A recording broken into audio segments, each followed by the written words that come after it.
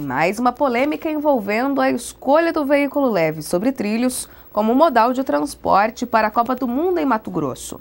Segundo o portal UOL, o governo do estado teria escolhido a segunda proposta mais cara em cinco disponíveis para fazer a supervisão das obras do VLT. Confira os detalhes na reportagem. Esta é a segunda reportagem polêmica envolvendo as obras do VLT, o veículo leve sobre trilho, modal escolhido para o transporte urbano de Cuiabá e Várzea Grande na Copa de 2014.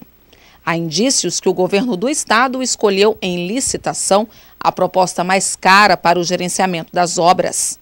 Se a suspeita for constatada, o estado vai pagar 47 milhões para a construtora vencedora 7 milhões a mais do que a concorrência.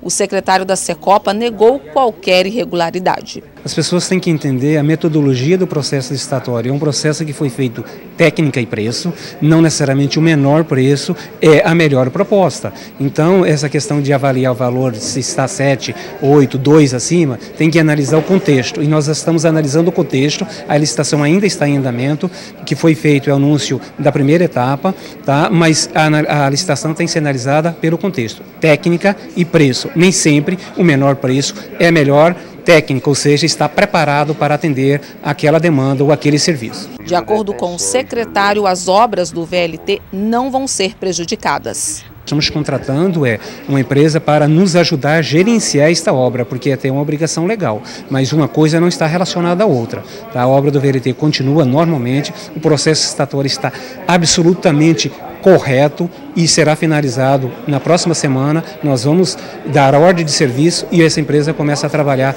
ajudar a gente a fazer o gerenciamento desta, que é a maior obra do estado de Mato Grosso. De acordo com outra denúncia também publicada, há uma série de irregularidades no processo licitatório da construção do VLT, inclusive de pagamento de propina no valor de 80 milhões para que o consórcio vencedor fosse o escolhido.